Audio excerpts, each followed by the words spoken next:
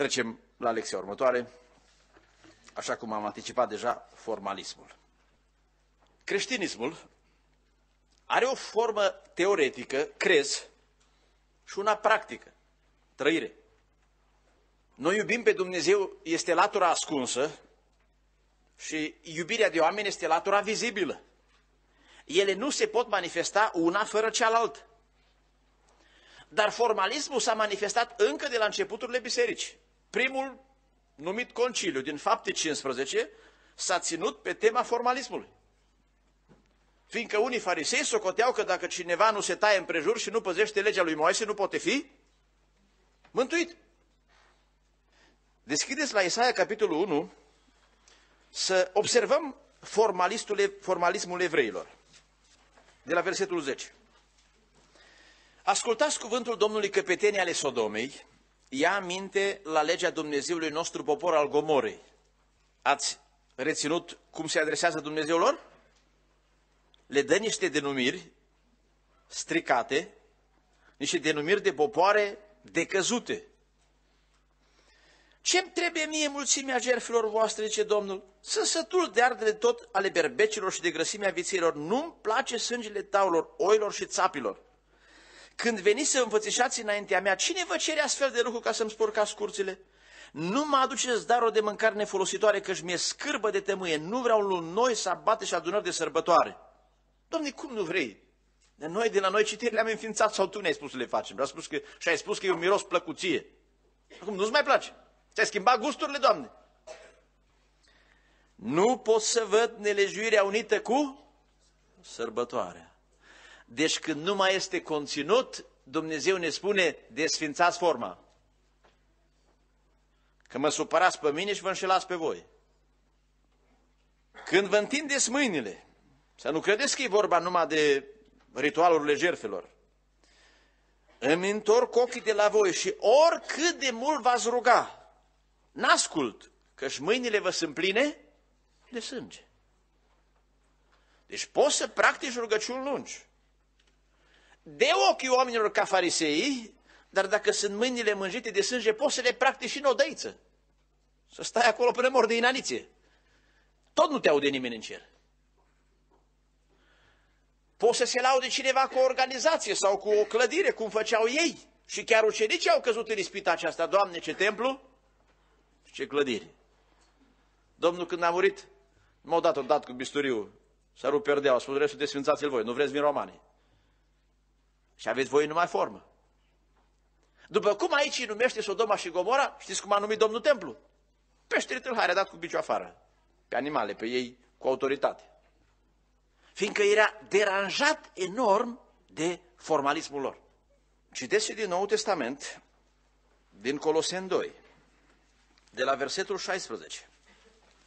Fiindcă pe lângă, venind în uh, realitatea bisericii, pe lângă bisericile și mănăstirile și icoanele și toate celelalte materiale bisericești câte există și care îl supără pe Dumnezeu, pot să fie și formalisme particulare, în trăire, nu doar de ordin material. Iată ce scrie de versetul 16. Nimeni dar să nu vă judice cu privire la mâncare sau băutură, sau cu privire la o zi de sărbătoare, sau cu privire la o lună nouă, sau cu privire la o zi de sabat Sărbătorile și în Vechiul și Noul Testament sunt formă. Și foarte multe sunt golite de conținut. De exemplu, cred că pe vremea lui Ceaușescu era un avantaj și un scop evanghelistic să mergi cu colinda. Astăzi este un aspect 90% cultural. Nu știu aici. La noi colindă și la televiziune, colindă și la radio, colindă și cel beat și cel treaz și când colinzi, nu-i se pare ceva uh, aparte. Eventual, dacă i-ai cânta altă dată, atunci uh, i-ar sări în ochi sau uh, ar fi sesizabil la auz. Versetul 20. Dacă ați murit împreună cu Hristos față de învățăturile începătoare ale lumii, de ce? Ca și cum ați trăi încă în lume, vă supuneți la porunci ca acestea. Nu lua, nu gusta, nu atinge cu tare lucru. Toate aceste lucruri care pierd odată cu întrebuințarea lor sunt temeiate pe porunci și învățături omenești. Deci, Sunt o multitudine de forme. De la o biserică aranjată cu idoli, până la anumite aspecte în îmbrăcăminte, până la anumite aspecte de practică sau ideologică. Toate astea, dacă nu au conținut și dacă sunt bune, deși dacă sunt instalate de Dumnezeu, sunt rele. Dar dacă sunt instalate de oameni și tradiție, atunci sunt rele din făcut. Dar chiar dacă au fost cândva bune, dar nu mai au conținut, nu au nicio valoare. Să știți că și un om care a fost botezat de Domnul, autentic, curat, și acum vorbește în limbi că i-a rămas pe bandă, e formalism. N-are nicio valoare, îl deranjează pe Dumnezeu.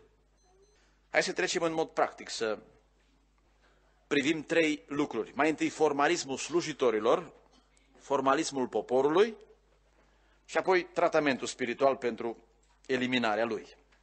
În Maleahii, capitolul 2, întâlnim niște preoți evrei care făceau slujbă de formă, dar așa era tipicul. Fiindcă formalismul slujitorilor înseamnă forme tipice, șabloane, citim de la versetul 1. Acum, către voi se îndreaptă porunca aceasta preoților. Dacă nu, vă veți, dacă nu veți asculta, dacă nu veți spune inima ca să dați slavă numelui meu, zice Domnul oștilor, voi arunca în voi blestemul și voi blestema binecuvântările voastre. Dar le-am și blestemat pentru că n-aveți pe inimă porunca mea. Dar unde o aveau? Pe limbă. Versetul 4. Veți ști atunci că eu v-am dat porunca aceasta pentru ca legământul meu cu Levi să rămână în picioare, și Domnul oștirilor. Versetul 6. Legea adevărului era în gura lui și nu s-a găsit nimic nelejuit pe buzele lui. A umblat cu mine în pace și în neprenire și pe mulți i-a bătut de la rău. Căci buzele preotului trebuie să păzească știința și din gura lui se așteaptă învățătură pentru că el este un sol al Domnului știrilor. Dar voi v-ați abătut din cale, ați făcut din lege un prilej de cădere pentru mulți și ați călcat legământul lui Levi, zice Domnul oștirilor. De aceea și eu vă voi înjosi și veți fi disprețuiți și înjosiți înaintea întregului popor. Fiindcă făceau slujbă formală. Este scris despre un uh, prelat anglican care conducea un om condamnat la spânzurătoare cu liturgia spre locul execuției și cânta din uh, cartea lui așa moțăind.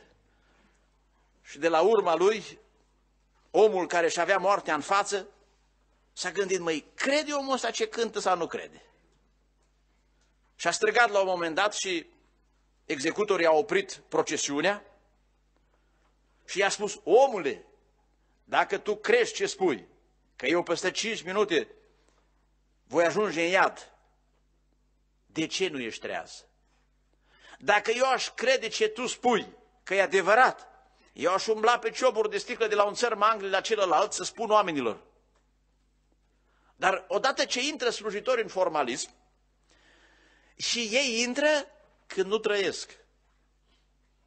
Fiindcă predicarea fără trăire este o formă goală. Este o poezie care se spune că așa sună. Și trebuie spusă. Fariseii nu trăiau, biserica din Laodicea credea că este și nu era nimic. Și Domnul le-a spus în casa de pe stâncă, în versiunea din Matei 6 cu 46, de ce îmi ziceți, Doamne, Doamne, și nu faceți? Și le va spune în ziua aceea, chiar la unii carismatici care vor zice, Doamne, Doamne, noi am făcut în numele Tău, nici nu vă cunosc. Ați făcut în templele voastre, dar nu ați făcut în templul meu nimic. De aceea, Dumnezeu să ajute lucrătorii să facă o slujbă autentică, curată, care să treacă prin inima lor înainte de a ajunge pe buzele lor. Ceea ce spunem, să credem, să trăim noi și apoi slujba va avea putere. Cât privește formalismul poporului, observați, vă rog, dacă este copilul mic, îl aduce la binecuvântare sau la noi la Arad, un prezbiteraș mai tinerel venit proaspăt la seminar a dat anunț în ziarul județean încă s-a trecut și păstor, are botezul la copil în data cu tare, au crezut că cu asta aduce oameni la biserică. Poftim. Dar cât ar fi omul de firesc? La nuntă tot se duce la biserică, nu? De formă. De mormântat îi mormântăm tot cu biserica. Ba unii mai vin la cina Domnului sau la alte sărbători. De formă. Participă. Dar participă doar așa, în virtutea faptului că este membru și el undeva. Am întâlnit oameni la care ne-am dus în vizită și ne-au spus, frate, dar mai venim și ne-am plătit pe anul ăsta cotizația. Da. Asta e justificare? Cu asta ce vreți să spuneți că sunteți credincioși? Feriți-vă de formalism că omoară. Dumnezeu vă va desface într-o zi carapacea și se va uita, mai este suflet. La unii nici embrionul n-a fost niciodată. Nu a fost născut din nou. Alții au murit prematur. Nu se poate practica o religie fără formă, dar formă fără religie adevărată se poate. Trebuie să te manifesti într-un fel. Vă spuneam de tratament și deschid în Filipeni, capitolul 2. Nu știu cum se face că prea ades viața noastră de la biserică diferă de viața noastră de acasă. Acesta e un reper de detectare a formaliștilor. Iată ce scrie în 2 cu 12. Astfel, dar prea iubiților, după cum totdeauna ați fost ascultători, duceți până la capăt mântuirea voastră cu frică și cu tremur, nu numai când sunt eu de față, ci cu mult mai mult acum în lipsa mea. Care e mai pocăit? Dacă l-ar avea pe Pavel de față sau păstorul de aici numai. Sau dacă nu-i păstorul de față. Dar și eu sunt slujitor și știu cum este. Numai noi dacă apărem, se schimbă vorbele, se schimbă echipamentele, se schimbă discuția. Dar, îngeri, dar eu duc raport în cer sau îngerii? Sau probabil ați dat nu pe înregistrat la ei, dar ei înregistrează. Dar Dumnezeu ne vede. Nu fiți farisei, fiți naturali și siliți-vă să fiți mai pocăiți când nu vă vede nimeni decât atunci când vă vede. Fie vă rușine de dumneavoastră înși vă și nu faceți prostii. Că de alții te poți ascunde, dar de tine n-ai să te ascunzi și dacă te înțeapă conștiința, dacă o mai ai și dacă mai e funcționabilă, îi vai de tine. Că vei fugi tu de umbra ta când îți vei vedea forma și îți vei citi imaginea cu sinceritate. Aici se pierde credința. Iată ce scrie în 1 Timotei, capitolul 1, versetul 5. Ținta poruncii este dragostea, care vine dintr-o inimă curată, dintr-un cuget bun și dintr-o credință neprefăcut. Fii sincer chiar dacă ești vameș. Cât ai fi de păcătos. Fii la rugăciune sincer, nu spune rugăciuni protocolare. Fii în discuția cu frații real, nu fi mascat. Și când o să afle cine ești, să nu mai știe cine ești. Ca să scap de formalism și chiar de liberalism. Întorc la Apocalips, capitolul 3. Și vă dau două exemple de la două biserici. Nu înainte de a spune ceva. Slova omoară și Duhul de viață. Noi suntem pentecostali sau ce suntem? Credeți că Duhul Sfânt creează forme sau oameni vii? Noi suntem pietri vii, mișcătoare. Numai când suntem la biserică? Și când mergem acasă se produce o reacție chimică, ne descompunem, ne facem pietre moarte și când ne apropiem, ne radiază și ne sfințim. Pentru cei care sunteți aproape de Domnul, vă citesc de la Efes. Pentru cei care ați avut tendințe liberale sau formalisme, vă citesc din la Odicea. Știți că una e la început și una e la urmă. Dar dacă mai ești încă în biserică, și în Laodicea dacă ești, încă mai ești în biserică. În 2 cu 2 scrie așa, știu faptele tale, osteniala ta și răbdarea ta, și că nu poți suferi pe cei răi și ai pus la încercare pe cei ce zic că sunt apostoli și nu sunt și ai găsit mincinoși. Credincioșii pot testa pe cei falși și descoperă. Știu că ai răbdare și că ai suferit din pricina numele meu și că n-ai obosit, dar am ceva împotriva ta. Este că ți-ai pierdut, ți-ai părăsit dragostea din tâi. Adu-ți aminte dar de unde ai căzut, pocăiește-te. Altfel voi veni la tine, voi lua sfeșnicul din locul lui dacă nu te pocăiești. Deci cu vremea, dacă nu te lupți cu râfna aceea care a avut-o cei din Efes, ori te duci pe o pantă liberalistă, ori pe una formalistă. Sau le poți împleti pe amândouă. Tu ești liberal în viața ta, dar de ochii fraților ai formă. Și acum iată ce scrie la biserica din Laodicea. Capitolul 3.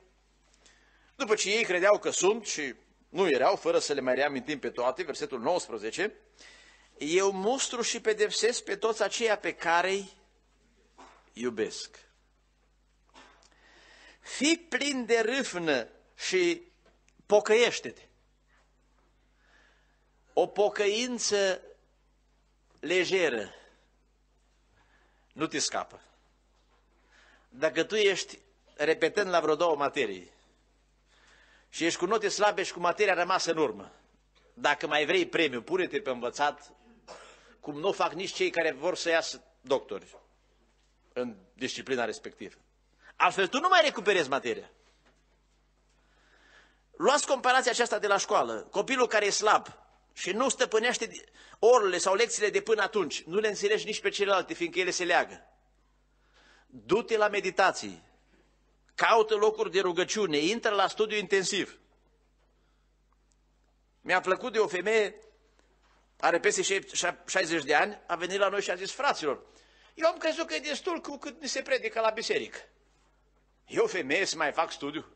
Dar acum, de-abia am prins gustul și de-abia acum îmi dau seama că trebuie să mă aprofundez și eu în Scripturi, să mă ridic spiritual. O, dacă ar înțelege toți lucrul acesta. Să nu rămâi formalist. Formalistul nici la biserică nu-și aduce Biblia acasă, nu citește ea deloc. Care nu-i formalist, el urmărește, îl interesează și când merge acasă, are pasiune. Dacă nu-i orientat liberal, să fie pasionat spre altceva. Dacă nu imediat îl fură imaginea. În diverse părți. De la politic până la cultural, oriunde te poți duce în lături. Dar noi vrem să mergem înainte. Doamne, ajută-ne!